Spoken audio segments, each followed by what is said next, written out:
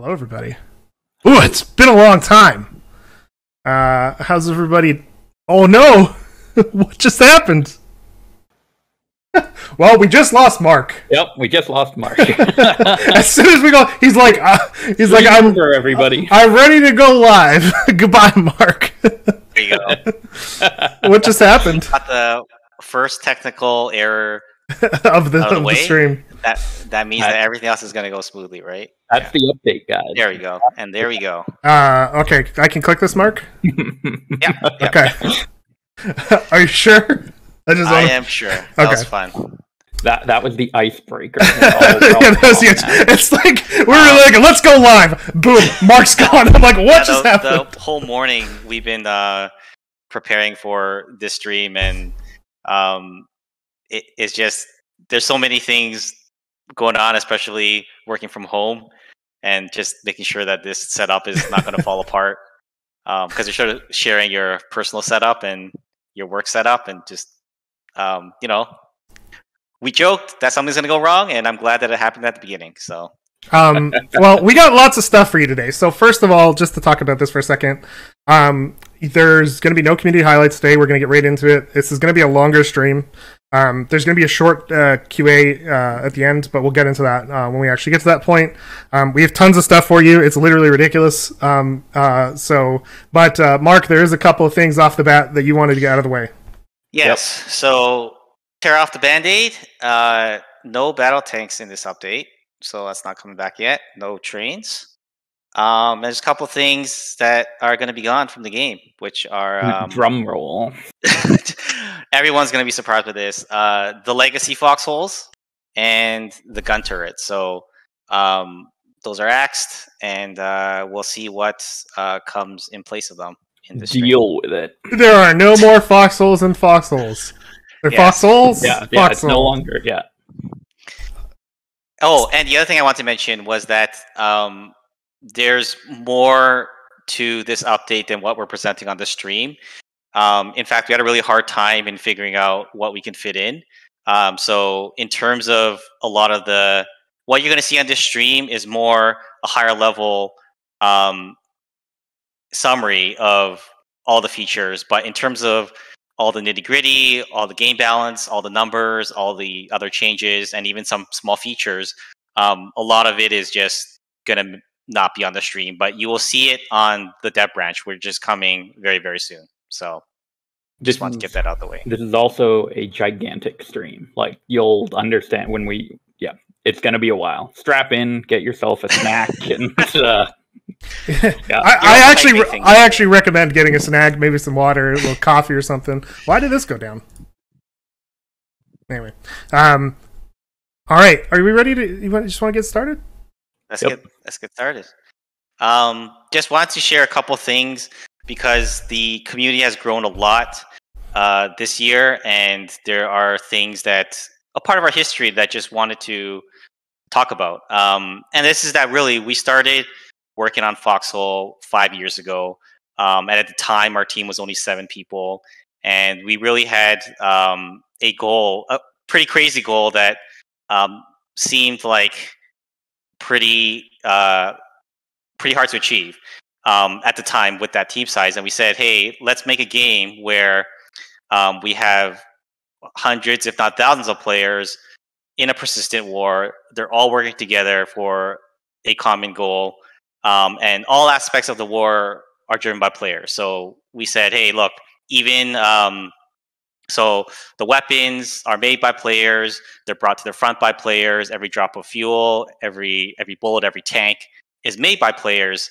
um, and we we started on this journey and um, it's been a while and i think that it's been a lot of updates but we're finally starting to get close to that and a couple of things there's been a few things in our philosophy that we've always tried to keep um, when trying to achieve this goal.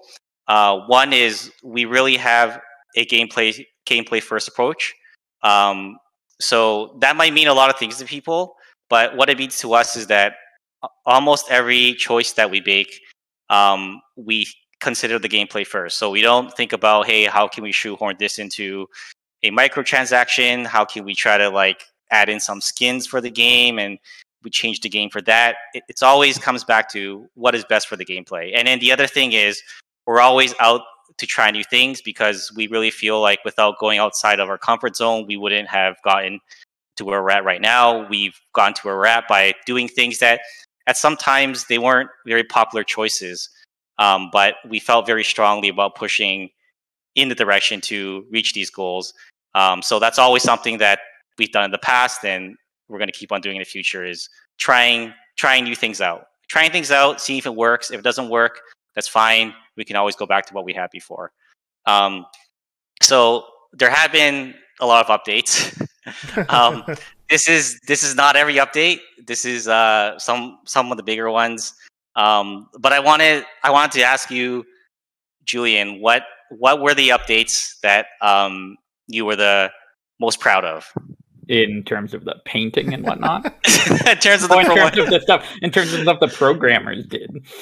Um, in promo, I, like uh, War Machine's cool, Arm Race I love, Winter Army. Um, I, the original one I still look at and love. Uh, same with the the even though the world map needs updating and the top center one, I love that one a ton. Um, that one is actually really cool. Yeah, uh, yeah, that one is like objectively like really interesting, even though yeah. it seems kind of simple. That was actually probably technically very hard. Mm-hmm. uh, no, it was, um, and it's out of date now. So people don't, that world's not. uh, speaking of out of date, the Dead Center, the twin battle tank, that was a lot of fun to work on. Um, and then we took out the battle tank. So that's and, and, the most inaccurate one of all is my favorite of the of the nine. so we have just as a summary, we've done. It's been five years We've done 45 updates. It's been a lot. Um, seven major releases. Um, and you know what's what's really cool is that after five years, um, we've definitely had our ups and downs. Um, but I, I I think this year has sort of we've started to see where things are leading to. We've we've had just a couple of stats. We've had our longest war this year. We've had the most amount of concurrent players in a war. We've had um, the most number of players in general in a war, so across the span of war, and in terms of just the overall concurrent player count, we've also um, had the most this year. So it's nice to see after all these updates, uh, we're finally here. Uh, but for this next update, um, Foxhole Entrenched, we are going back to finish up some of the work that we did in trench warfare. So for those of you that were here about a year and a half ago, was when we added trenches to the game. Um, there were some things that we wanted to get done there that we didn't have time for, so we're coming back around to get those things done. And another big thing is um, in in War Machine, we uh, unified the world into hex-shaped regions, um, and we're also coming back around now to kind of finish some of the work that uh, we started there, right? Um, but, but what does that mean? I have no idea what it means. I'm just saying random things right now. um, so there's four big features coming. Uh, the the complete world. Um, so this is the world we wanted to build at the beginning. Um, the tactical camera. This is to be the dark horse feature of this update. it's the least yep. flashy, but I, in my opinion, and in, in, the opinion of many people on the team, this is this is going to change the game, right? Mm-hmm. Um, the uniforms. So everyone's been expecting this. I, I've dropped hints, uh, which I probably shouldn't have, which Matt was giving me a hard time about yesterday. um, but uniforms are finally here, and we're going to talk about how we're going to incorporate them into the game. And finally, the building update coming back around to some of the stuff we didn't finish for trench warfare. So let's start with the world, complete world. So a little, you know, again, a little bit of a history lesson here um, on Foxhole's development. When we started the game, uh, we, we, had less than 50 people in the world, and this was during the pre-alpha phase. Um, nobody knew about the game, and we had to scream and shout to even get 50 people into a war um, we started building out the Deadlands, which was the first region, and um, that's where we started. Eventually, at first it was just a part of a map, a part of a region. Eventually, we built it out to a whole region. From there, we started adding more regions onto that. Um, and we were trying to, at the time, the wars weren't even really like wars now. They were actually uh, more like matches set in a region because we didn't yeah. have the mm-hmm. tech or the gameplay or the content in place to actually have a persistent war that would last for weeks. Um, so so we created this mode. It was the campaign mode, and it was just our way of trying to reach at at the final goal um, without having the tools yet. So in campaign mode, you would actually fight on each region, and as you win them, it became sort of like a winning a region in in like a grand strategy game. Um, but what but what we really want was to put the all the regions together into the same war, so that you're fighting them at the same time. And we did that in World Conquest mode, um, which we added shortly after launching into early access, and it was a really bumpy ride. When we first put all the regions uh, together traveling at the border was um, not a great experience. Um, and there was just a lot of there wasn't even a queuing system at some point. Um, so it was a really it was a really uh, really painful experience but it got the job done at the time. Um, and since then uh, well rather when we got to that point um, we got it working decently in update by update 20 world conquest was starting to feel feel a little bit like what it's like now. But one of the big things that players um, would always bring up is that the, the pieces of the world didn't quite fit together. Because uh, matt maybe talk about this for a second but we built them separately right? Yeah i mean i mean they were each built like as individual maps. They were um there there was the thought that they would come together but at the time the mandate that was sort of just like make the map separate like don't worry about if it's a different size. All the maps you see here, there were different like dimensions and everything. so like there's no way that they could. We had to come up with this whole system of like uh, sort of uh, averaging out coordinates so that people would end up on a place that made yep. sense on their other map, and so it was like a whole nightmare. So we were like, we need to we need to fix this. We need to do something that makes more sense. That's right. And actually, these the this picture on the right is actually from a Reddit post from a player trying to map out where all the connection points were. yeah. um, so eventually, in uh, in the War Machine update, we um, turned the regions into hexes uh, because um, we wanted them to fit together nicely. And I think this at that point we were reasonably satisfied. This was uh, large enough for us to get our goals across, but we always felt like um, it, it needed one more step, right? Um, and that's the step we're taking now. So we're expanding the world into the north and the south. Um, and there's a lot of reasons for this. Um, the main reasons is that we feel like in order to execute on, on, on the full scale of the type of war that we want to see, we just need more room, right? So we want the front line yeah. to be able to move more forward and back. We want people there to be more interesting things that can happen to the front because we feel like right now, um, when the front line moves a little bit, it already feels like the war is almost over. But we want there to be more room so you can get you can be pushed back a bit more. The shape of the front line can change, and then maybe you can push back, right? Um, and another uh, big reason for this is we we we want to be able to have many more different types of starting conditions, which wasn't possible, which wasn't as possible with the current world, because this world goes can go more or less in any direction, right? Yeah. So we can go north south, we can go east west, and there this are was, some lower constraints. Yep. This was the original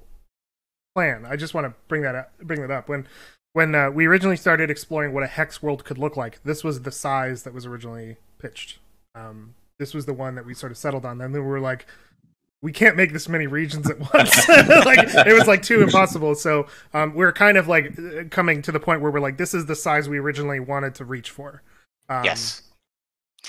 And um, so there's 14 new regions, bringing it up to 37 hexagon tiles. Um, we kind of see this like a board game that you can reconfigure at the start of every war.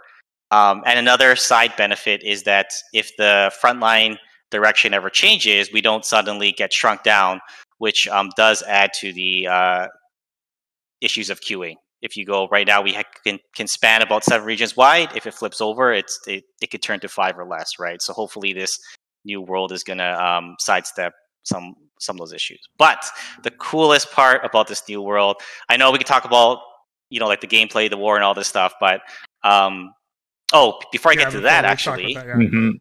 it's just sort of a mock-up of the potential ways that uh, the board game world can can be set up. Um, and I just feel like this is much less claustrophobic. Right now, Matt, it just feels so claustrophobic sometimes. Mhm. Like when we come up with a war configs, we're like, can we do it this way? Can we do it that way? And so many ways have. Um, every time we try to do something new, we just start running into a problem because there's just not enough space, right? Yeah. Um, so this is going to free us up to be able to do a lot. So now, hopefully, getting to the cool stuff. We're finally going somewhere, Matt. Maybe you can talk about this. Yeah, man. yeah so the new maps um, this was an opportunity we really wanted to spread a little bit further out of uh, the main country which is uh, siva is the country that it's always been uh, but we wanted to push south so all of the new southern maps ta- are, are, are canonically in um, col- quote unquote colonial territory. Um, it is uh, more of a mediterranean uh, vibe. Uh, we it, it, basically you know like mediterranean france uh, area was kind of the the inspiration for for for, for this part of the world. Um, and we really really wanted to push into it. We wanted you guys to feel like you're in a different place. You're in a different country. Um, and as you go further north it changes and changes and changes. Um, and we also felt like the colonials you know they've never really got to have any of their stuff in the game. They've never been able to have sort of an identity in the world itself, and that was something I really wanted to uh, push for this update. When if we were going to add all these maps, I wanted to really push and say like, let's give the colonials something uh, to to kind of call their own. Cool. We're also going north of of Siva as well, um, which we I don't know if we show much of, but uh, we are going. There's a few maps that are canonically in a country called Nicknevin, so um, the there is a little bit there too. Uh, it's not quite as different as this, but just for the people who care about that.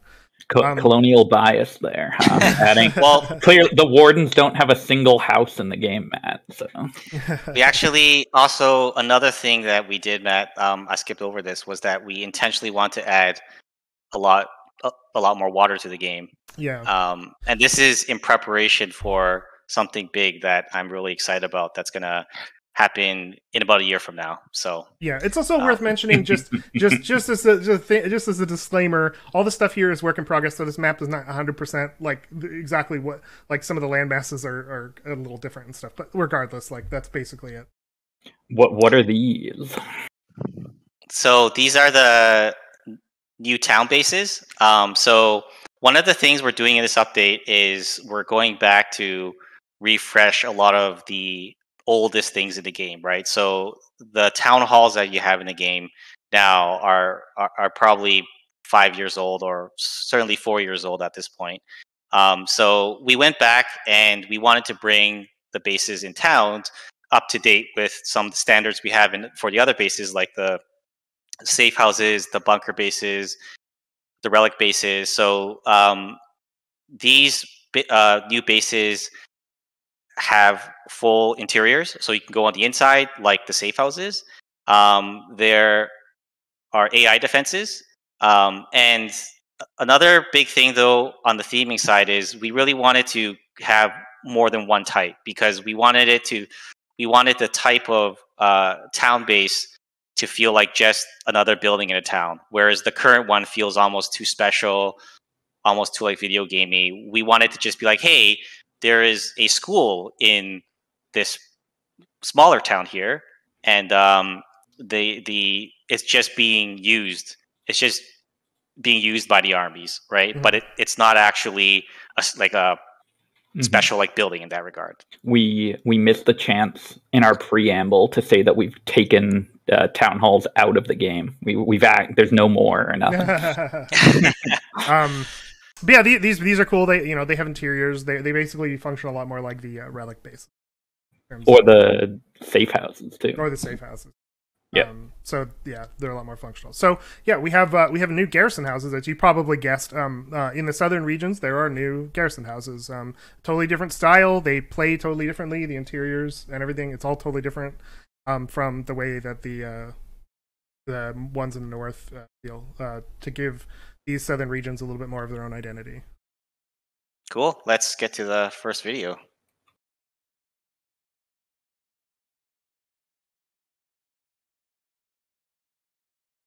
Come on. Yeah. How's that? Is that is that going? Hopefully.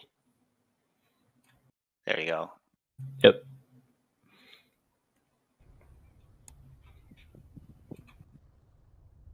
New southern vibe. Terminus is one of the coolest new regions um, in the southeast part of the world. Oh, it has a huge port. Yeah, I was gonna say now that we I have we totally forgot to talk about. It, there are two new cities as well. Um, uh, there's uh, Therizo, which is a place that a lot of people probably know, and Callum's Keep uh, in the north. So uh, Therizo is in uh, Terminus, uh, and Callum's Keep is in uh, Callum's Cape.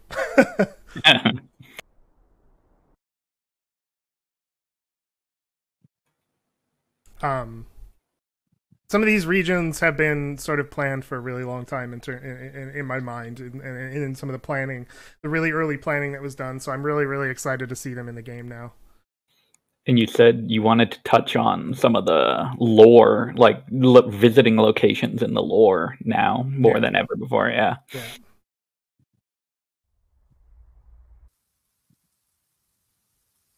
Red River, Matt. Where we? Yeah. Where have we heard Yeah. that? have you heard that that's a name that's a familiar name um yeah it was really fun honestly it was really fun conceptualizing all of this just because there's a lot a lot of stuff that I, Mhm. I i knew that some players would be really looking forward to and there's a lot of places to explore and, and, and stuff um uh, to, on that point in the south we in the south and north we actually have all sorts of new uh, foliage and, and stuff like that to really kind of make it feel like you're traveling some distance like uh, across the map um that was that was a, another big part of it. I mean, you can see here like uh, there, there's some new textures on the ground. There's obviously new foliage. There's like cypress trees and stuff like that. Um, new, new, totally new type of grass. It's basically we're treating it like a new biome entirely uh, in the south. Um, Is there new snow in the north though? All all new. there snow. is actually new snow uh, in some places. Yeah. And um, these uh, town bases do have varying amounts of health, so it's no longer the same amount of health for every town base, Yeah. like it was with the old town halls.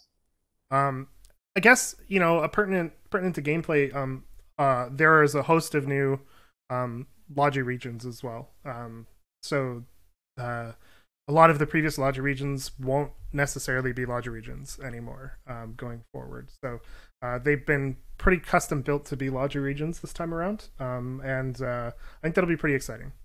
Yeah, there's a whole a whole nother layer of logi, like a whole a whole nother row in the world. Yeah. Um, that's not to say that we can't use the previous logi regions as logi regions again, though. That's that's all in our system now that we can we can do. So let's talk about the camera, Mark. Tactical camera. So this What- one is exciting. It's the least flashiest feature, but I think it's probably one of the most important features Are you nuts? This thing's great. so, um, if you've been around, one of the longest uh, standing complaints that players have have have had, and we've shared this complaint. Um, we've been very critical of the camera. Um, it, it's been this um, issue that has been with the game for five years, and that is that um, the aiming at the corner is the most effective way to play, and that just kind of sucks because um, it- you know you don't want to play a game where only one part of your screen is uh, is the most is the most useful, right? So there's other problems. Different aspect ratios provide different advantages. Um, there's been some really jerky movement when you move the camera really quickly. If, you rotate it really quickly and you aim, um, and the biggest thing for me though is that your situation awareness is much less than it should be. So we actually watch these wars very closely, and sometimes we, um, you know, we we we watch the battles from from like high above, so we can see how they play out. So we can see um, how well some of our game balance changes are working, um, and it's often that we see the battlefield from a higher vantage point and we ask ourselves hey why aren't players doing this? Why aren't they doing that? And they simply don't have the information that they need right? If you have the binoculars you can kind of have that information but in general in real life you're able to see a lot further than you can in the game right? So we've tried various things in the past. Um, past updates this is not a problem that we've only started working on recently. We've actually been trying different things through the years um, we've tried to just zoom the camera out um, doesn't that doesn't solve the corner aiming. Um, we've tried a technique where we just simply try to bring the camera in as you move to the corner, but we found through testing that that introduces a lot of jerky behavior in your input, and overall, it doesn't feel good. So um, we did a lot of research this year, and we arrived at a new camera system, which is multi-target camera.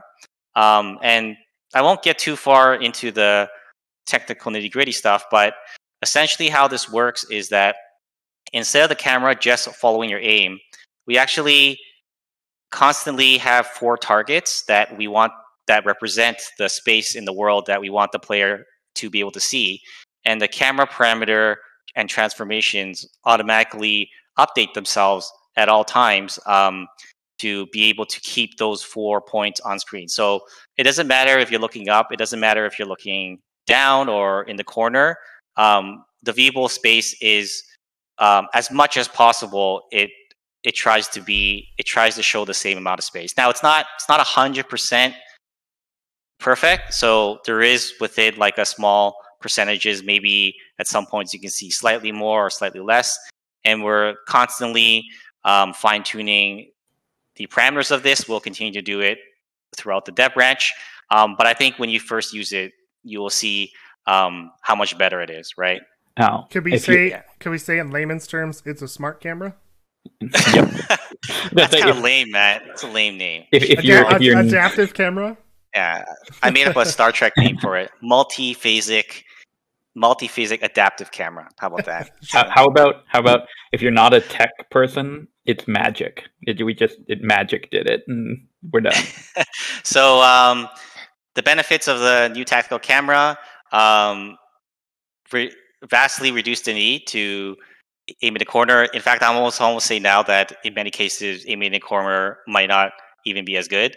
Um, your situation awareness is much better than before, so you'll be able to um, spot a tank that is trying to flank you. Or if you're trying to flank, you have much more information um, to actually perform a flank, right? Whereas previously you wouldn't. Um, when you're driving, you have increased visibility, so you can just generally see more.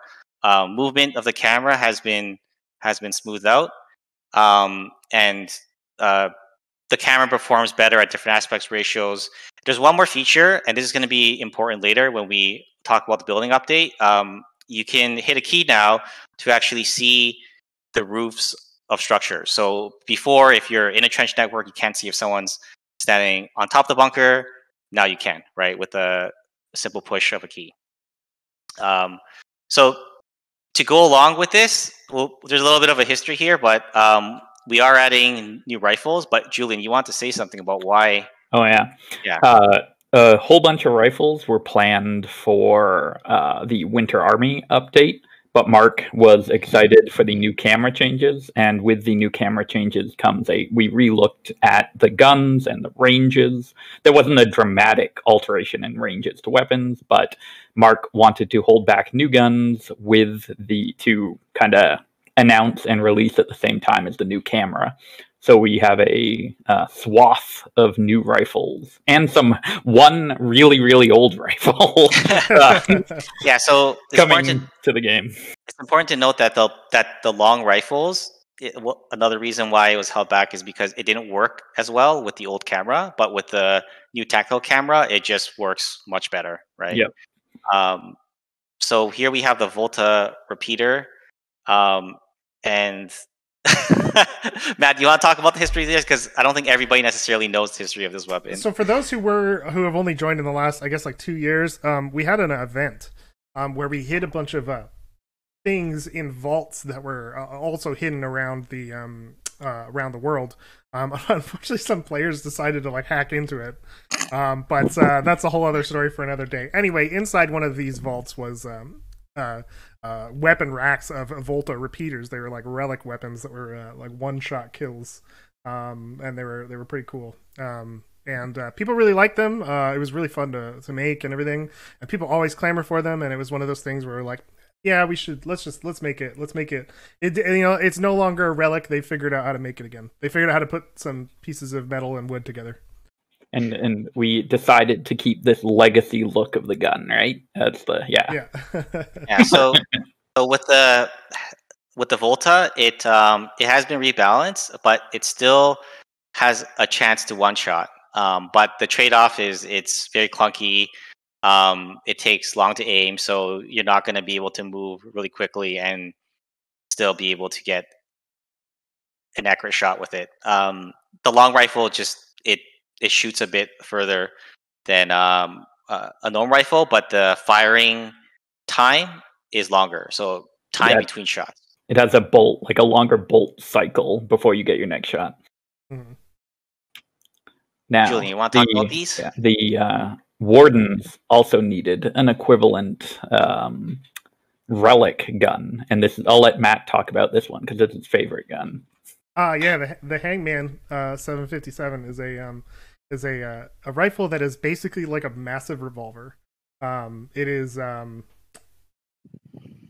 comparable to uh, imagine both the like imagine both the Volta and the Hangman were used in like the early days of like non flintlock firearms, automatic quote unquote automatic firearms or lever action firearms. But the Wardens thought they were hot shit by creating like a revolving uh, uh, it's a good description. Yeah, Wardens. the wardens think a, a revolving, a revolving, a revolving magazine, um, as opposed to a um, a standard magazine with a bolt action.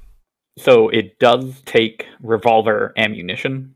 Um, that's its that's its thing, um, and that's unique to the wardens. Um, I really like the gun. Uh, their the cinder, their long rifle, is their long rifle. Um, it has to, the two long rifles are statistically different from one another. Um, but again, this was just we could we could have a longer ranged gun now because of the new camera, so we did it. Um, yeah, yeah. uh, and my personal favorite is the automatic rifle, which is exactly what it says it is. It is a full auto rifle uh, that, in classic Warden style, has a uh, press F single fire function. Uh, and this is kind of a counter to the Dusk um, machine gun or the uh, Dusk assault rifle. Um, in that it is medium to close. You're not with full auto. You're not going to be hitting anything at range with it, uh, and you're just going to be dumping rifle rounds at close to medium to being in a trench range. Great. Time for the next video. I forgot. I legitimately forgot there was an, this the gun video coming up. Yeah, it's the gun and the camera video. Yep. Yes. All right. Someone it's, just uh, came in the chat asking any map changes. Everyone say no. Everybody say no. I think you missed something, bud. okay.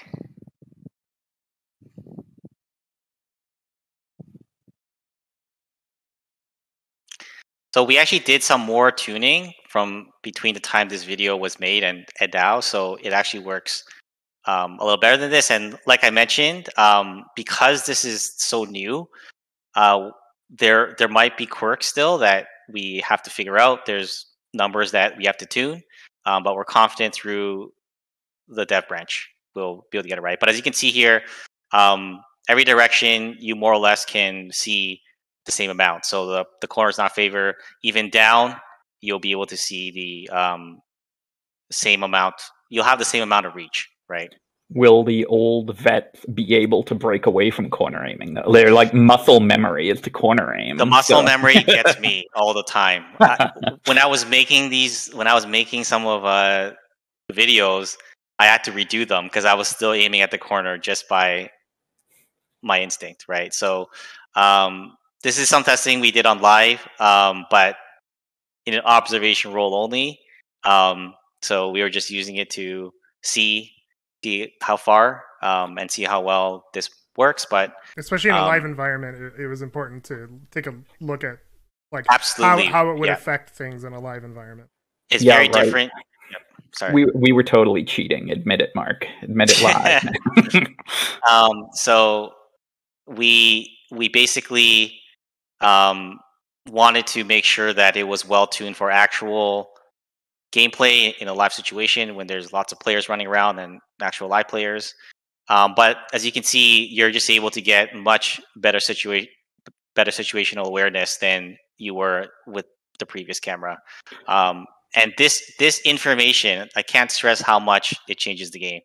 Um, just just being able to get that information is really important. So I remember when Um, we were first testing the new camera. Um, I literally like had a hard time playing without it. Like, uh, Yeah. there was a, there were, we did one like we we we played uh like a, a small operation once, and I was like I. Like it, it was just like I, could, I I can't go back. like it's it was so hard.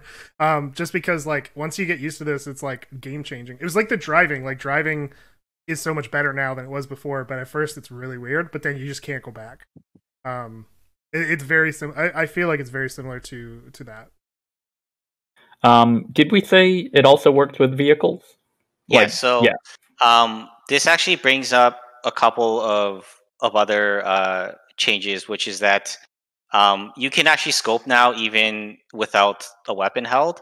Um, so basically, in almost every scenario now, you're able to see the full distance. So we're not limiting you. It doesn't make sense anyways. Like, why can you see less when you're not holding a weapon? Um, the only thing is when you're running and you're not focused down on your aim, um, you won't be able to see far. And to us, that is a game balance thing. If you're running, um, you can't see far, but otherwise you should be able to focus in. And if you're on a vehicle mount, like a tank turret, you'll be able to get that as well.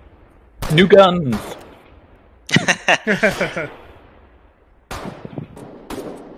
This one, Adam actually wasn't firing it in full auto, but it fires a lot faster than that. yeah, if you if you put it in auto mode and hold down the trigger, it can yep. can go. You can waste your entire 12 round clip really fast. okay. If, if you can tell, I'm excited for that gun. I feel like we need a break or Yeah, something. Let, let's uh let's let's delay the rest of the stream. We'll come back in a week.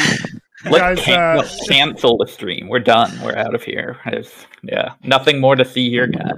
Yeah. we told you guys to settle in. Let's get let's get settled in. Now we're I getting just into feel like I feel like uniforms is is um i- is the least kind of like unexpected feature, but really cool, right? Most Um, expected. Oh yeah, sorry, most expected. Le- Got my wires. Got my wires. So crossed. you so some of you were wondering in the chat why the characters had no backpacks. yeah, yeah. Why do the characters? ah, that? yes.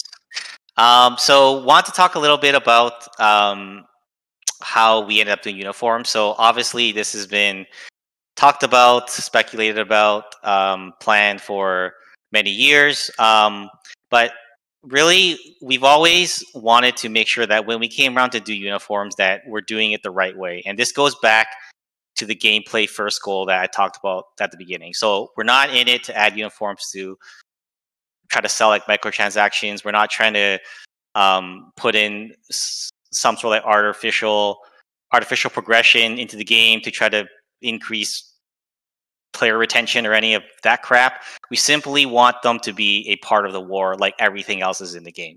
Right? Everything in Foxhole is part of the war.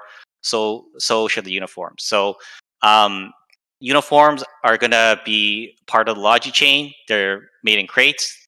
They're brought up to the front, and they're gonna um, provide uh, gameplay modifiers that we feel make sense for wearing wearing that uniform. So it's really important to us that they um, they did not feel like they gave you a magical ability. It was not like a, a class or something that you might find in in some other like MMO, right? But we really want to do things like okay, let's look at how many slots do you have in your bag? How many things can you carry?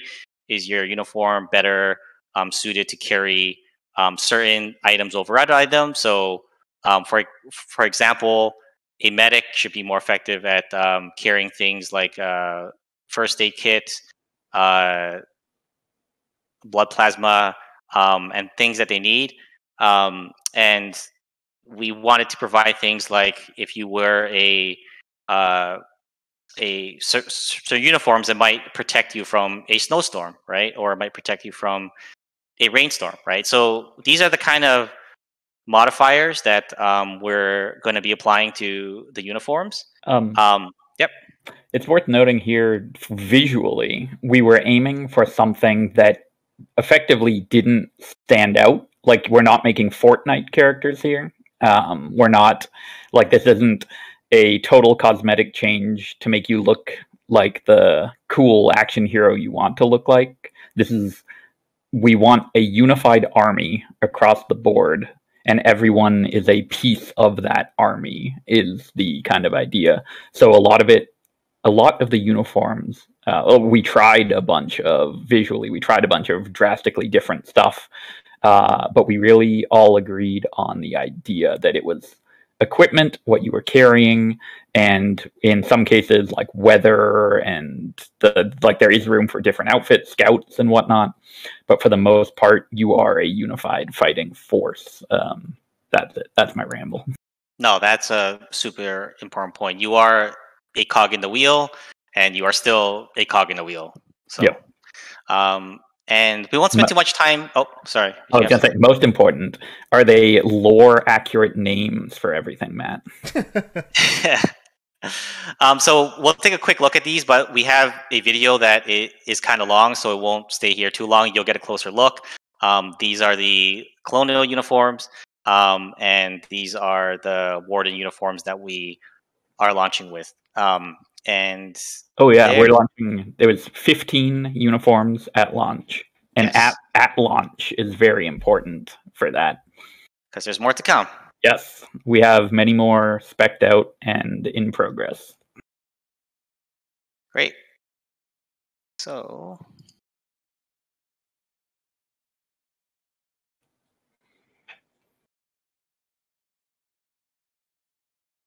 Yep. Hurry up, video! I want to see uniforms. All right.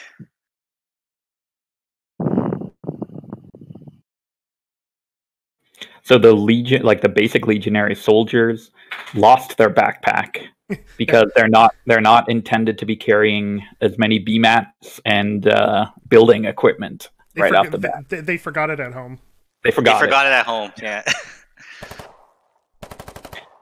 they are equipped to carry ammo much more effectively than other uniforms, right? yes. Small arms, uh, machine guns, rifles. And uh, everybody knows what a medic does. the um oh, it's worth noting the soldiers are the default in now in the game, so you'll always like you always spawn in as a soldier. And we still do continue to expect um, most players to be in the default soldier uniform. Um, so, yeah. Yep. Oh yeah, that too. Everybody can still do everything in the game, no matter what uniform Yeah. you're wearing. You can perform. a task. Uh, it's just a matter of are you optimizing for that task. So Which I'm which- going to be a medic uniform doing heavy artillery. Yeah. Julian, how about that? But what I like about that is Sure. theoretic, theoretically in a war, like you would have, you know, you would maybe have some specialized gear for like what your what your task is for any given operation. Yep. Or if like you know if you are a field medic, like you know you could potentially be in situations that like is not like I think that's kind of the goal we're going for here, right? It's like Absolutely. if you want to play as a, a medic uh, style of character, you absolutely can, but that's not going to stop you from being on the front line if you need to be. The scouts are super exciting, and I'll let Mark explain why. Yes. So they have um, chance a less chance of being caught by enemy intel sources. Um, so if you're running around as a partisan, um, the enemy can still find you, but it's just it's just harder, right? So you'll be able to out uh, maneuver a QRF force more easily than before. And uh, it's worth noting that we have intentionally made the wardens the superior winter army fighters. So go Wardens and deal with it, Colonials. But they still have a. Oh, they still have a, you, you guys still have uh, winter gear. Yeah. There's uh the Wardens will just like their winter gear a little bit better. This is probably one of my favorite uniforms. Oh. I love the tank. Yeah. Yeah. I love the scouts. I love the tank stuff.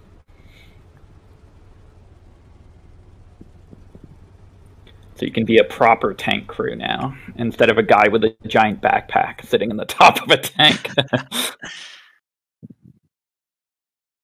So that means that we're going to be cranking up the dial on the on, on the storm modifiers, right, Julian? oh yeah, Now we have the- now we we can go full on with the storm modifiers. Yeah. You guys hated it before, and now we can uh, do whatever the hell we want.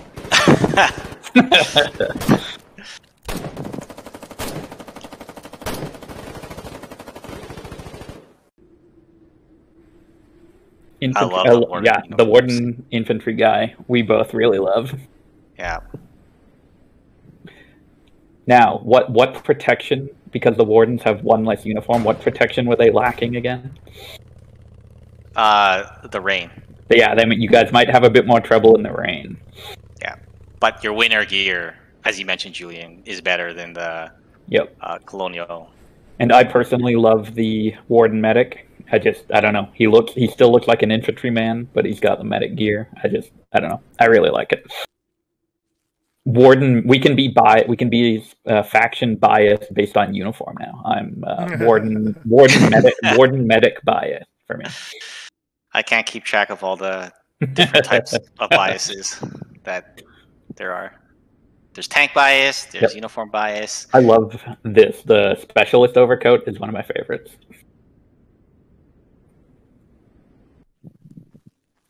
This is your faction specific different the counter to the gren- grenadier.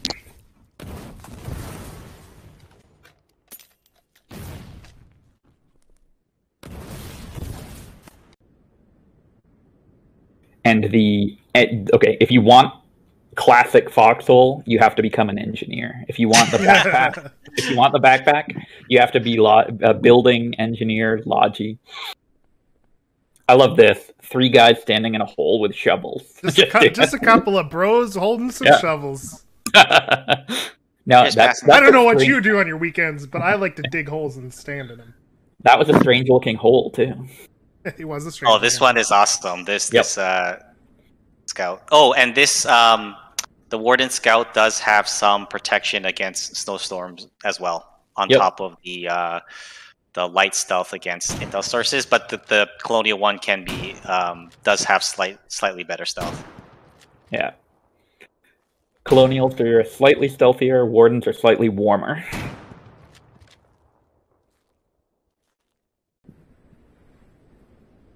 This one I love. This was a, I did the sketch just a lot like the sketch for this outfit.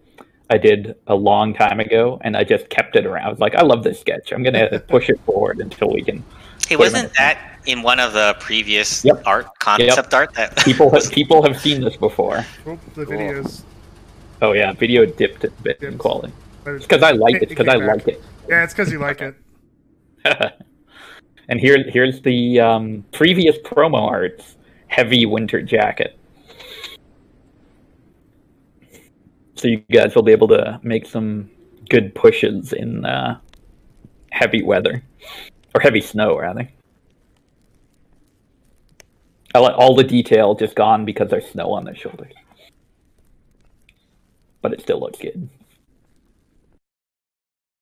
All right. Yeah, that's the first offering of uniforms. I hope you uh, hope you guys are excited. it's been a, a long ass for feature. Um, That actually, I have a en- slightly entertaining tale. Uh, a while ago, I had a hard drive crash, and I lost some of the original uniform concepts from uh, like two or three years ago when we were chipping away at it. Uh, so for this, for the uniforms, we effectively redid everything, like um, got everything I had left, and then we re went over all the concept art. And when you guys, all there will be a dev blog where I'll show you guys all the uh, uniform stuff.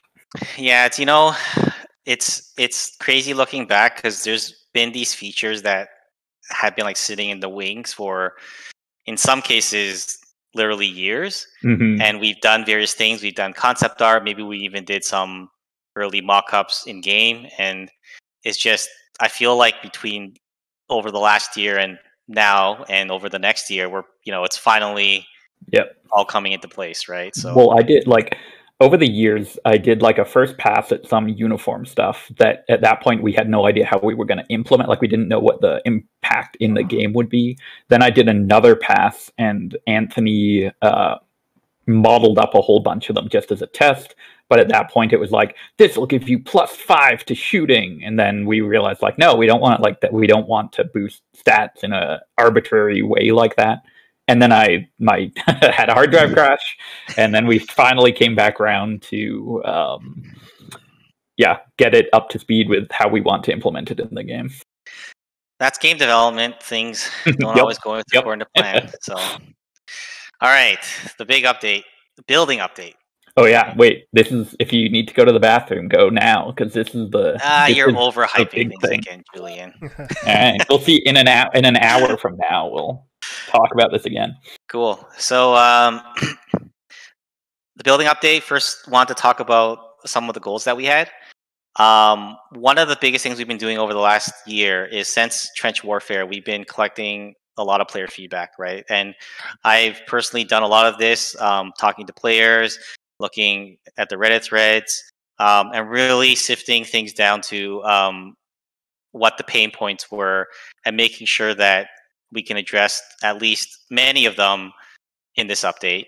Um, another thing we really wanted to do was we really one of the th- goals that I feel like we didn't quite quite meet in the original trench warfare update was um, really having more of a creative aspect, right? So um, it was great that you can make the trenches, but um, but that was that was the feature. It's like great, you can make them, and there's some things you can do, but in terms of allowing a player who really wants to spend all their time in the game doing this, um, which there are players that do spend all their time in their game making uh, making bunker bases and trenches. We wanted to give them the the tools that they um, needed to execute on their vision, right?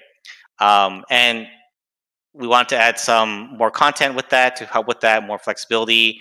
The power mechanics is something that always felt a little bit like a tacked on feature. So we've come back around and added um, some more features there. Um, and then on top of, you know, the past, like addressing player feedback, making what's there better than now, we also, we're also introducing a new mechanic for building. So one of the th- one of the things that we've heard from from players is like, hey, can you update the building so it's just not always about holding down the left mouse button?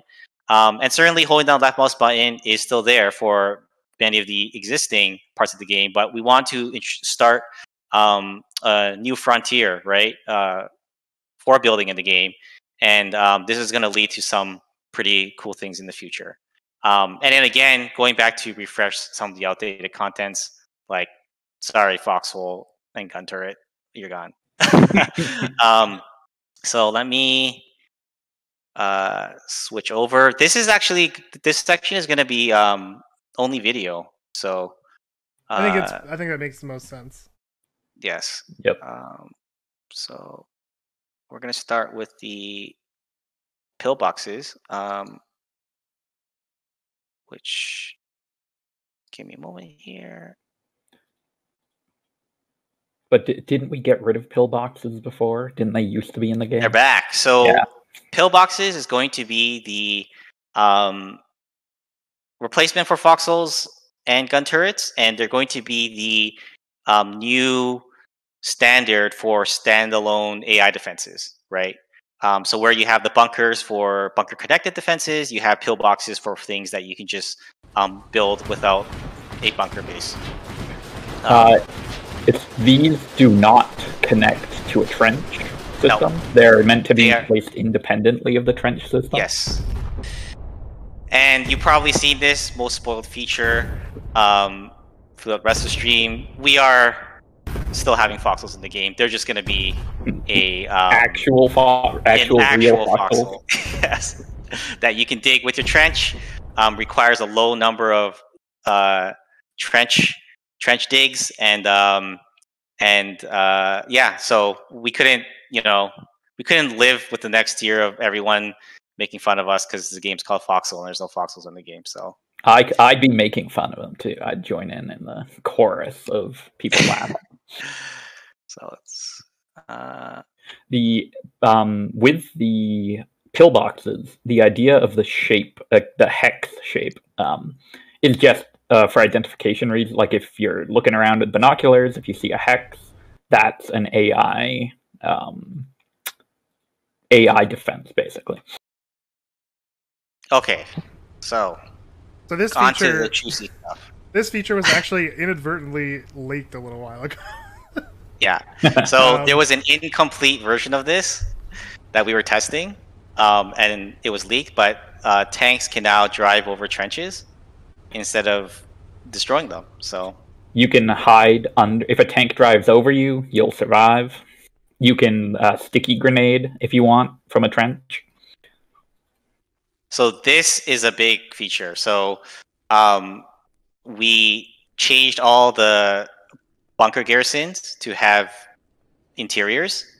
Um, so one of the big things about this is that um, inside, not only can you run around inside them and you don't have this uh, trench that cuts out halfway, you can also um, have more space to build out your modifications. So all the normal modifications that you can make can now be made in a bunker garrison, um, including the infrastructure mods, including a firing port.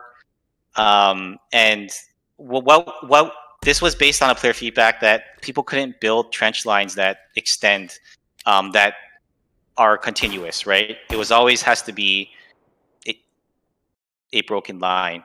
Is, Um, isn't so- that isn't that player suggestion infamous at this point? Like it was that huge post. Oh, there was, yes. And Yeah. that actually leads into the next one, right? Um, Which is, uh,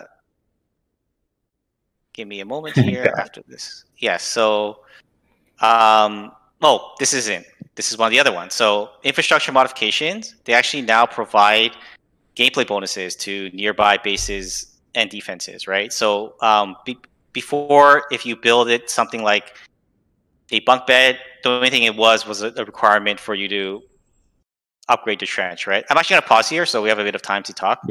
Um, so before your infrastructure modifications were just a requirement, but now they actually provide bonuses for um, your base. So as an example, if you um, make a bunk bed modification, it actually has a chance to not consume a soldier supply um, uh, when a, a player spawns, right? So the idea is the more of these bunk beds that, that you make, um, the more uh, survivable your base is going to be in terms of consuming um, soldier supplies. Uh, and in the same way, if you build a um, a some of the other structures like a strategic map, that means that you get a buff to your nearby ne- nearby intelligence sources, right? Um, so they'll be able to um, see players slightly further. And um, we'll get into this more in the dev branch, but essentially these modifications are no longer just there as a requirement. They actually provide a gameplay benefit. So let's continue. So one of the big things that we we wanted to um, was to update the modification system to make the modifications built on a more granular level because right now you you can't really build an an airtight defense, right? So the best that you can do is you can try to build a defense where the enemy can't get through, but ultimately there's going to be spots where they can. But we went through every modification on all these trunkers, trenches and bunkers and made sure that you could build a um, sealed trench network, and moreover, not just sealed, but a directed trench, right? So as you see here, the sandbag modifications prevent the enemy from shooting out towards um, your side of the line, right? So even if the enemy can take over this trench, they can't they can't use it against you. They can't even vault out on that side. Um, so there's always this argument in the game right now. Sometimes players feel like maybe trenches um, shouldn't be built, um, but now there there's no reason why they shouldn't be built. Um, and here here with the bridge is an example of uh, what I'm talking about. These modifications actually scale to um, the barbed wire modification scales so that it just fits in between the bridge, right? So the enemy is not able, like, you're basically able to get every single spot on the trench there. And another big thing, all these modifications work on the trench connectors as well as the normal trenches. So this goes back to the flexibility I was talking about. We want to make sure that if you think you can do it, you should be able to do it. And we looked at again every modification and made sure that was there. Yeah. What so, what about the top of bunker pieces? Yes. So this was another thing.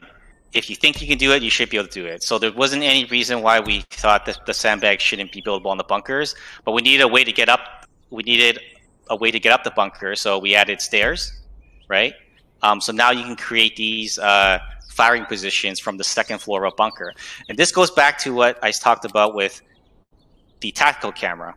Um, because you need to be able to spot players on top now, holding down the control key will allow you to view um, the top side of a bunker. So you're able to sort of have this combat scenario on both the bottom and the top floor at the same time. Uh, tripods still work in like you can set up a tripod behind your sandbags on top of a bunker as well and go nuts. Yes. Oh, um, the sandbags are tier two and three only because setting up sandbags on a net didn't make much sense.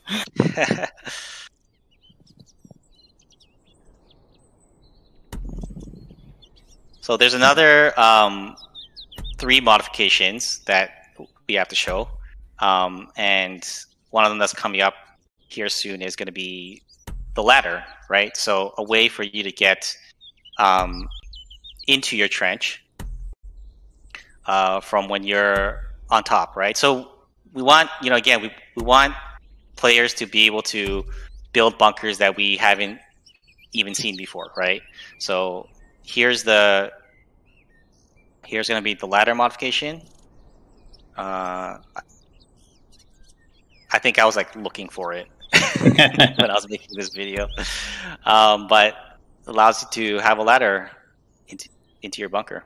Uh, Max would kill us if we didn't point out that you can throw grenades down the hole. So if you're up on top, you can huck any grenade you want uh, into someone else's bunker. Hopefully, an enemy's uh, bunker.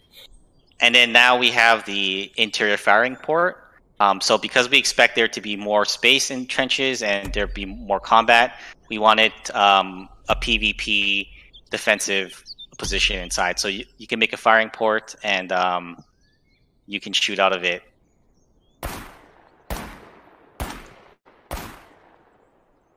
And there's one more to go,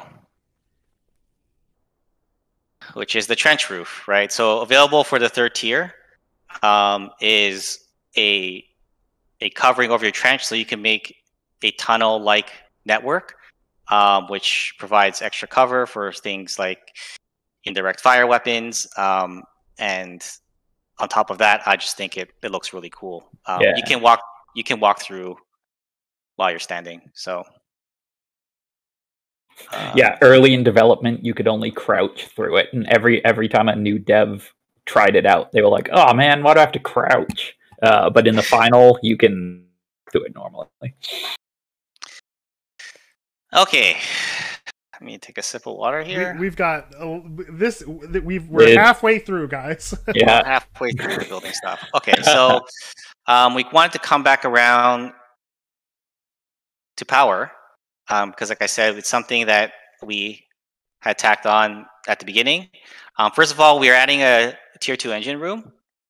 Um, and uh, again, all the modifications, or not, sorry, not all, but many modifications are available on that room. So you can make a door, you can make the pipes.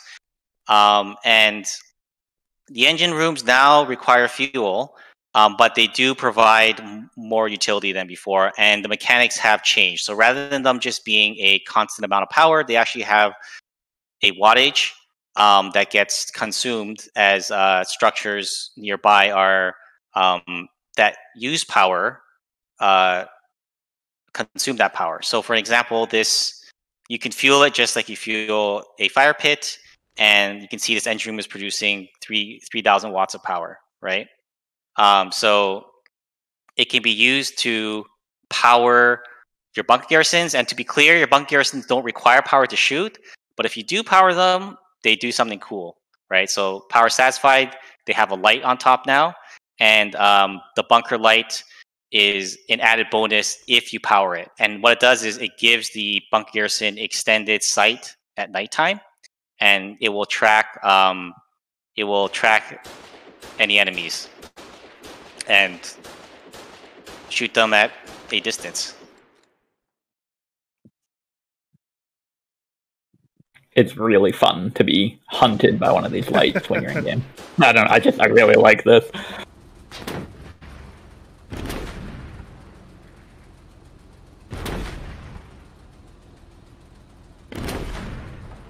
Poor Silverhand. Colonial bias. So another use for the power system um, is the new observation bunkers, right? So players been asking this for a very long time. Like, let us build another type of watchtower, right? So this observation bunker here consumes power, but in return, um, the intel radius is much more than a watchtower.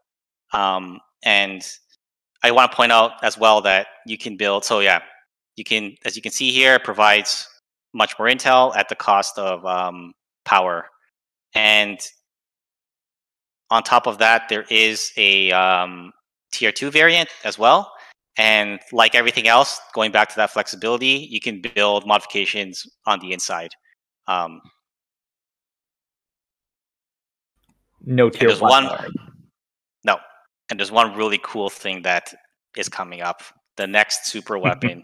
the the net the, the next storm cannon.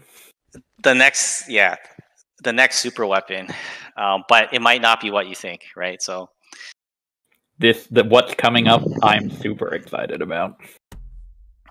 Not not to hype anyone up.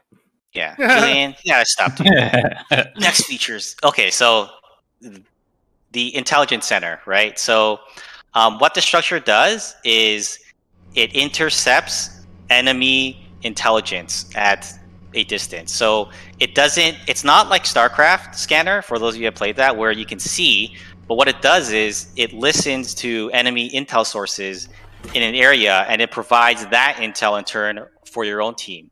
And why this is important um, besides it being cool um, is well let's stop here and look at this. So right now the intelligence center is stealing intel from um, some watchtowers and observation bunkers that the wardens have made right um, and you can see it flashing so what this why this is important is because up till now the intel game has been nothing but spamming watchtowers but but now you actually have to be careful where let me pause this you have to be careful where you put your intel because there is a downside now. If you just spam them across the entire map, you're giving the enemy free reign to be able to look into look into your intel network, right? So so this might be frustrating for some players, but um, we feel that the intel game in Foxhole has been long overdue with for a little bit more depth, and we think that um, adding a downside um, on top of adding a buff with the observation bunkers is going to make the intel game a lot more interesting. And along with this, besides the super weapon version, you can um, also, as a partisan, put down a listening kit that performs the same function. So you can listen in on enemy intelligence sources if you put down um, this listening kit, which does require a tripod. This is my favorite. This is the true super weapon because Um, you can set them up in a field, set them up in a bush, and uh, get intel from enemy watchtowers and bases. yeah, and and it's important to note that you will be able to find them. Uh, there'll be like audio cues and stuff, even if they're hit. This will be Yes. like a an interesting addition to the game. I feel. Yep. Uh, we wanted to create a new role of spies and uh, info info stealing. So if you Well- if you want to uh, run into uh, if you want to run behind enemy lines and set up a bunch, you're doing a ton of help for your own team. Yeah, I always felt that um, we want to come back around and do an Intel update, and we haven't done that, but we managed to sort of sneak in a small, a smaller Intel update into this one. The Um, the second gigantic building in the game is a small intel. Uh, so But So that that- finally, yeah, that's getting not to- everything. getting to the tools. Um, so this is most of this was based on the player feedback. First of all, the scalable trench connector, right? So this was a lot of work, um, but now you can scale your trenches when you place them.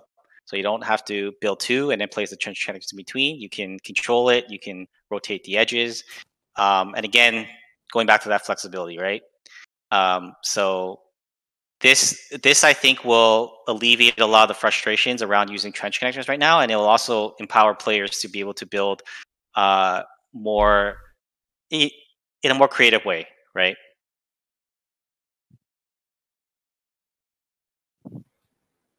Man, this is so cool.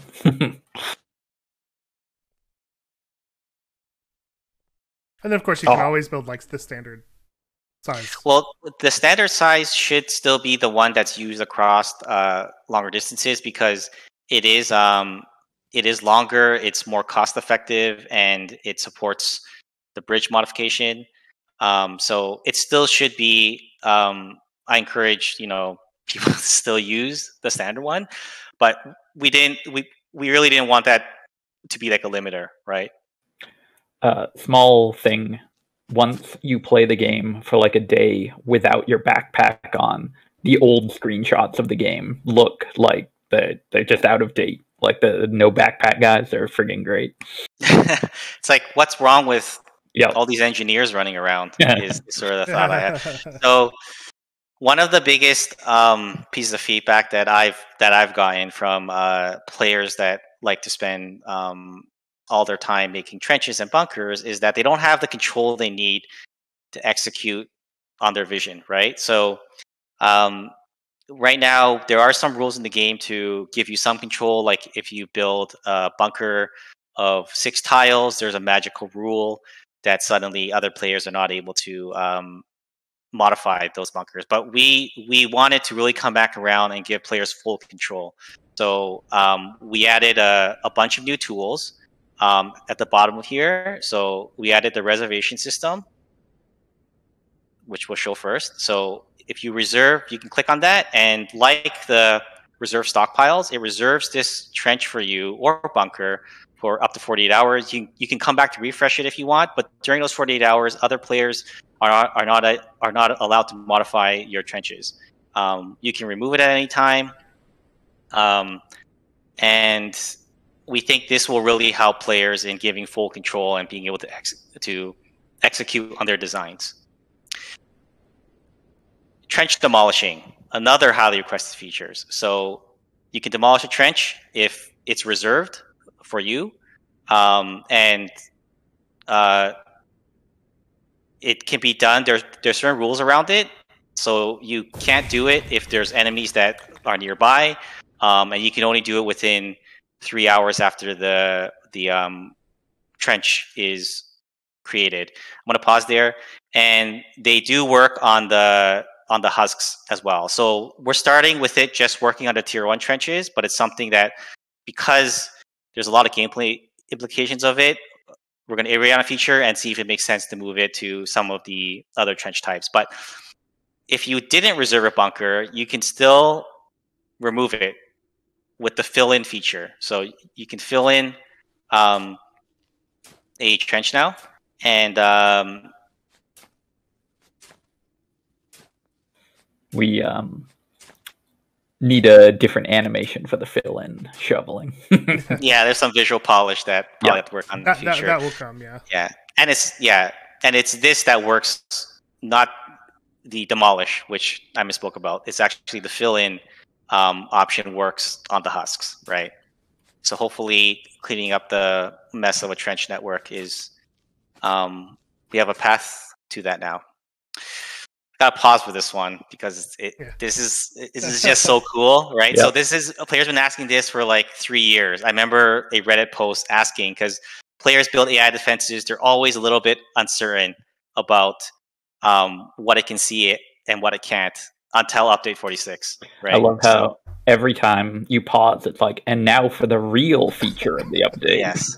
So now it renders the field of view, and that's not just the field of view. It shows you where it can't see. So as you'll see in a moment, um, as the build ghost moves, it, it, it shows you this blind spot. So if you're a builder, you have better information on where where to build your AI defenses. And and this I, I'm so excited about this feature just because it's it's it's been so long. Players been asking for this one for so long. Uh, it won't block be blocked by like a vehicle if it's parked somewhere. Yes, so you can't use it to cheese. Yeah. and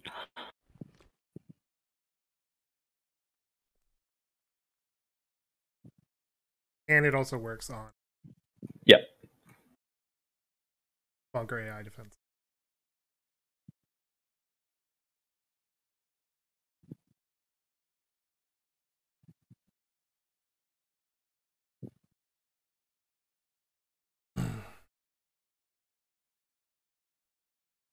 But Mark, what else could there possibly be? we, have got right. to be we've got to be done by now. This is the last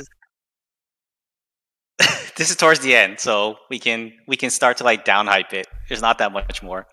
Um, this is the end. So one more thing that I want to show, which was the new uh, building mechanic I was talking about. So this is not, whereas everything else we've shown is sort of the refinement. This is new, so it is going to feel raw and new. Um, and this is the one of those things where we put into the game and there's much more we're going to add to it. So the first version is going to feel light on content, but we hope to um, add to it, right? So um, that is going to be frontline building. So there's a new activity for building at the front.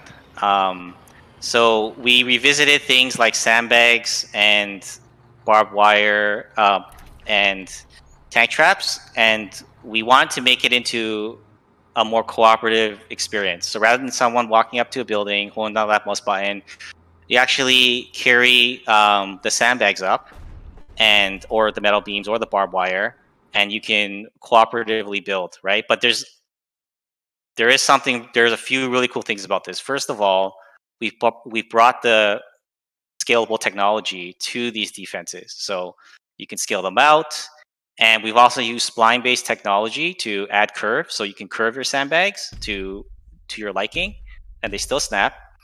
Um, so this is going to be a much more cooperative experience, like what we've seen with the artillery and ammo being a large item, and um, going back to the creativity. You know, we want players to be creative with the stuff. We we want them to build things in ways that we haven't seen them build before. So um, this applies to the barbed wire as well. And as you can see, you can still snap everything. Yep, uh, and you can or snap. can now snap it. I don't know if you could. You can uh, you can snap a second row of either barbed wire or sandbags to the line of the previous one. Like you can, you don't have to retrace it out. You can just add a second layer to it. It'll auto snap if you want. I forget the key to do that, but you can curve them around trees. You can curve them around walls. Um, and these materials are built at a construction site and they're brought up to the front. And these sandbag walls, you can upgrade it into the taller version as well. Um, metal beams for the tank traps. Yep. Uh, we're also going to railroad it into a different feature. I'm excited not, for that. Not, not right now. Yeah, we're whatever whatever application I'm talking about, we're excited for. But for now, for now, it's tank traps for the large metal beams. Uh, people are saying, talking about um, the, the Fight Clubs are going to be uh, way more wow. interesting. most most important. Uh, most important. Yeah. yeah. yeah. So the the barbed wire does does scale it well. Um, there is another. Like I said, we're not showing everything on the stream, but there is another barbed wire structure that's coming, which is uh, the barb the barbed wire wall, um, and that one doesn't. You can't walk you cannot walk through it. um, which is a difference, right? Um, It's similar to the old chain link fence, right? yes, which Yeah. still exists, but it's uh, it's um, it there's going to be slightly different behavior, but you'll learn more about that Yep. in a dev branch. Um, so I just love the Mhm. I love the curve feature. Every everyone can praise Casey for this because he he did all the work.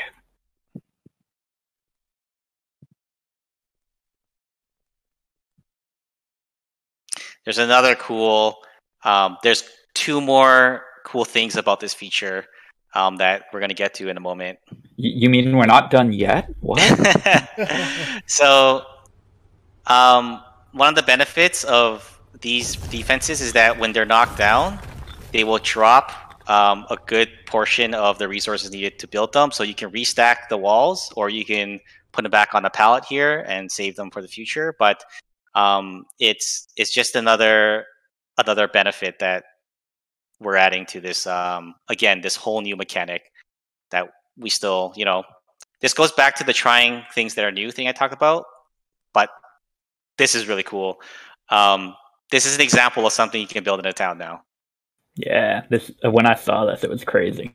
And finally, you can build on bridges.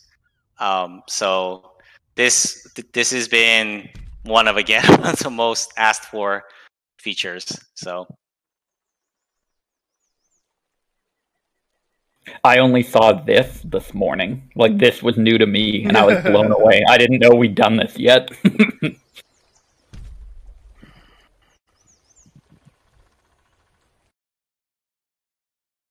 okay, let's uh, switch back here to change. what happens when you open the bridge?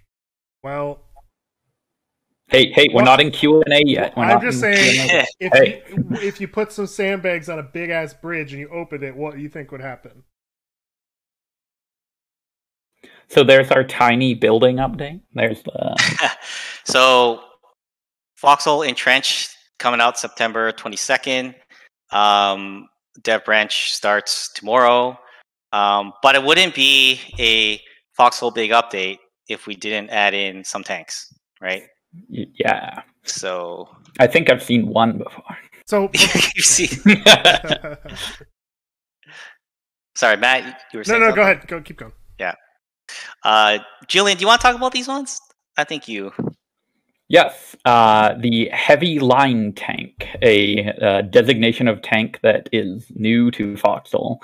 Um, this will be the first tank that features a coaxial ballpoint mounted machine gun in the turret.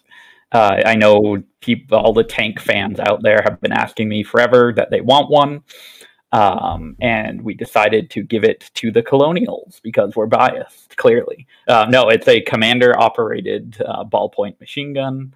Um, so, like the other vehicles where the commander can hop in the hatch and control a gun, the same goes here.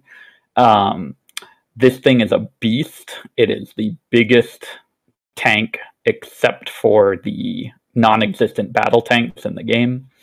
Uh, it is basically we wanted to design a brawler, something that could take a lot of hits, and it can take a lot of hits, um, and needs to kind of get in closer. But uh, basically, it has a short mounted, uh, short range, thirty meter. Um, yeah, it says it there, thirty-five meter to sixty-eight millimeter. Um, but to compensate for its range, it has a uh, faster reload than most other tanks, which basically there's good ergonomics inside the turret. It has a really big turret, and uh, the gunner has lots of room to move around and load uh, at his leisure. Yeah, Look There. at it. yep. There's your next look at it.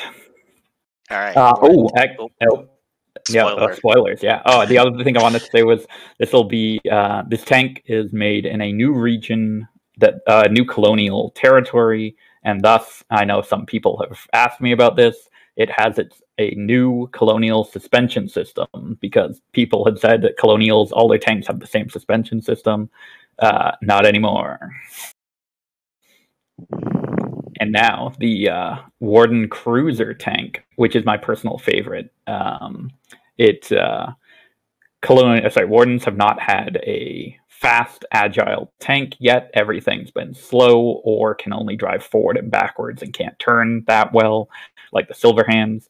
Um, well no more. They have their uh, lamborghini as I, have called this thing the, the warden lamborghini. This is the lamborghini of tanks. Um, it's less durable uh, than other like it's the it's the least durable of the warden medium tanks.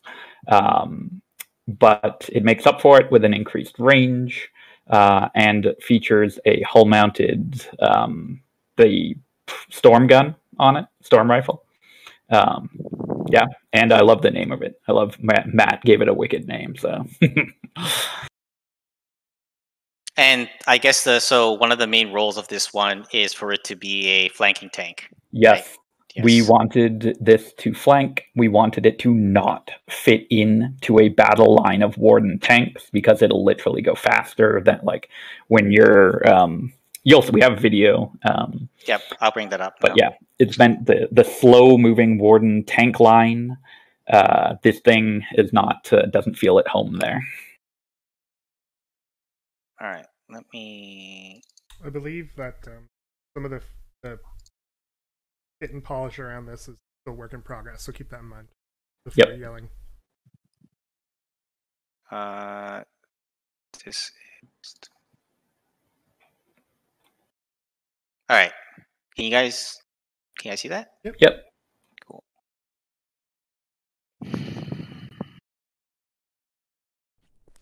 This is to show the scale of the Bardiche tank. It is huge. And here's your new camera, coaxial machine gun, turret, and everything working all together. And the colonial uniform. And the colonial tanker uniform. Yeah. I really like the treads on this. These guys. Yep. Y'all, y'all did a great job. The coaxial gun will require the commander to yell at the gunner to turn if he's trying to shoot down infantry. and I, I look for, I want, I literally wanted more reasons for the commander to yell at the rest of the crew in the tank. Yeah, this is a, a big chunky boy. and here's the uh, Lamborghini with its sweet sweet turn radius, turning ability, and uh, shift boost.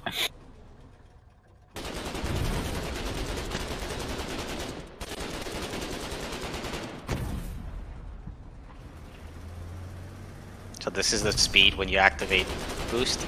yep.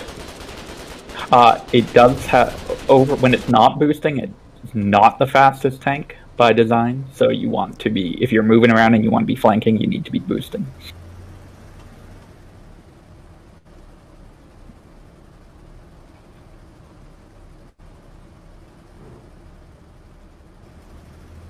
And there's that nice power turn there. That all right, Tokyo drifting. so yeah, we could we couldn't have an update without adding some new vehicles, especially a major update without adding some new vehicles. Uh, so there you go. Oh, we missed the second render. Oh, all right. How did that go we, before? Anyway. yeah, how did that get mixed up? Okay. Oh, there we go. uh, so you know, again, more changes coming in the dev branch, um, and to talk a little bit more about uh, that. Before that, though, I did want to touch just very quickly. Um, we're very out of time, but I just wanted to mention that um, there's there's a lot more over the next year. So um, this was sort of the part one of our 1.0 release, um, and the the next big update is going to be um, beginning next year. And you know, it, it, I just want to be clear that's not going to stop then. And I hate these number things because for us, there's no difference. We're just going to keep working on the game. Um, the show is going to keep on going, and 1.0 isn't isn't anything special. It's just going to be the same as it was over the last year. It's going to be the same the next year, and the same over the year after that. We're just going to keep on pushing towards these goals that we have been pushing for towards over the last five years um, and hopefully for many years to come. Um, and practical matters for um, our release schedule. Dev Branch Part One comes tomorrow. Um, there's going to be a series of blogs uh, for this update. So one you can expect next week that's um, expanding a little bit more on the world. Um, we're going to launch Dev Branch Part Two next week, uh, the next next Tuesday, and then we'll also get a post of all the concept art because there's a lot of amazing concept art Yep. that Julian worked on, possibly even the most across any update. Um, It it combi- it combines a little bit of what was supposed to be in Winter Army, so it's naturally bigger than the rest. But It's yes, bigger there's because- a ton. Yep. we cheated, so Yeah, we cheated.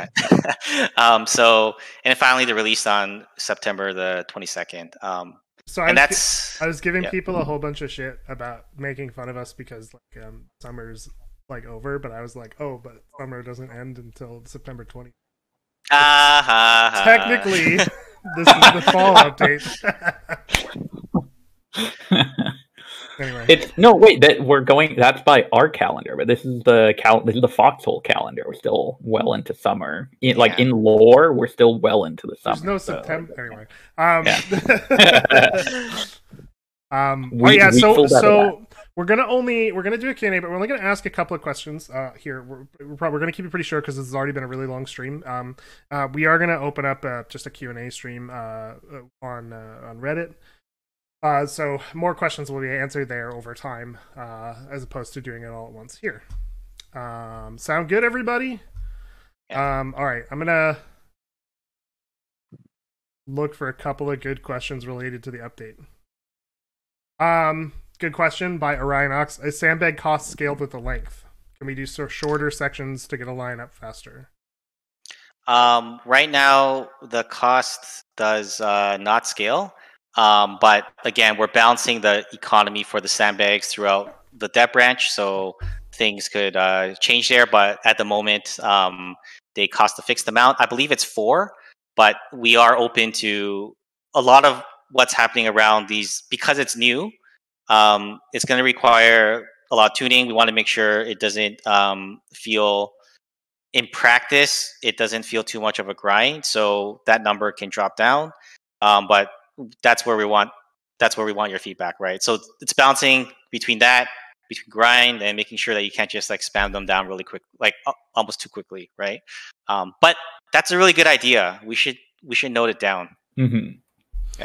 Um, this is a really good question. Um, a- a- and I saw it uh, mentioned a whole bunch while we were uh, while we were talk- while we were uh, uh, showing off the content. Um, uh, Cl- King T Wood thirty asks, "Will there be a dedicated system for requesting logistics in light of the increased production slash delivery times caused by changes to the map and deliver and, and, and all the new mechanics?" So, Um, an so- Yeah, so um, definitely not for this update. I think with regards to that question, um, we've we've thought about that sort of system in the past, and I do feel like having better ways for logistics to coordinate is a good idea and something that we should visit in the future. But the one thing that I don't um, that we've sort of been careful of is we don't want to if we do improve those tools, we'd rather get people talking to each other um, through voice, through text chat, um, and not so much through a UI because we want players to work together, not not through the UI, um, but, but but more through actual um, talking. So I think if we do improve those systems in the future, it might be more along the lines of what we've done with the Logitech channel. Obviously, that was very basic. Um, but if we want to add more sophistication, we want to just that's in the cards, but we just want to make sure that we keep people talking to each other as opposed to talking through uh like a bunch of like buttons or something, right? So Um, and this is a question, uh, and I'll make this the last question for today, um, because this is one that a lot of people asked as well. Um, uh, I'm just trying to hit some broad questions that I saw. mm. Um, uh, Malik Malakir asks, um, can oppo- uh, can the opposing faction steal uh, the other faction's uniform? Uh, no, no, they cannot. Yeah. So we there was there was a lot of um talk about that.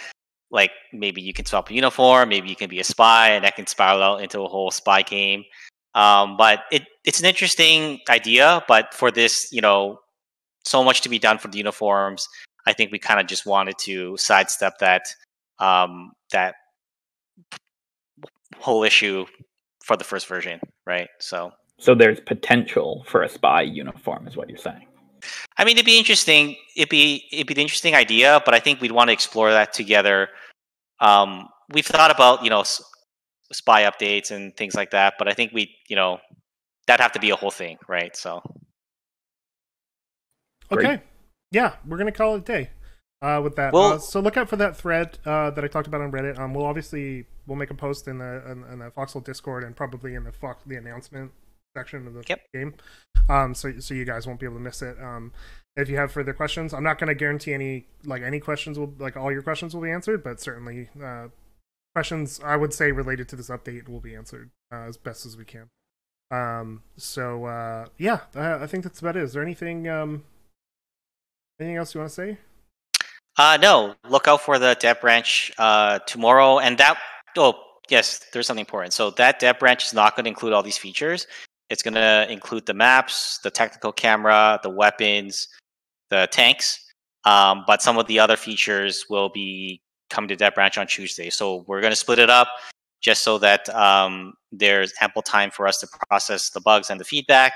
And um, so we we're this was the same in the last big update. We just break the dev branch up into phases. So um, look out look out for that. That's it. Um, Yeah. So next week, um, look out for the the dev blog that, that's going to detail all the the lore behind the different maps that are being added, as well as um the following week, um, going to be posting all the concept art. Um, so that's going to kind of trickle down as as we get closer to the update. The dev branch is what date, Mark? Tomorrow, Tomorrow. Tomorrow. the 10th. So look out for the first part of the dev branch tomorrow. Um, if you've never joined the dev branch before, just be prepared for things to be unfinished uh, slash buggy, because that's the point of it. um, so uh, like, don't yeah, don't expect it to be like the launch of the thing. That'll be in a couple of weeks. So um, look out for the dev branch, and we'll see you guys there. Um, if you're watching this on YouTube, HB always says something. Remember what he said. Remember what HB says. And then And then, uh, he- uh, if you have some questions, you can ask those in the comments, and sometimes those get an- get answered too. Um, ba, ba, ba, watch us on twitch.tv slash foxhole game if you're on YouTube. Um, I think that's everything. All right, everybody. Stay right. Fox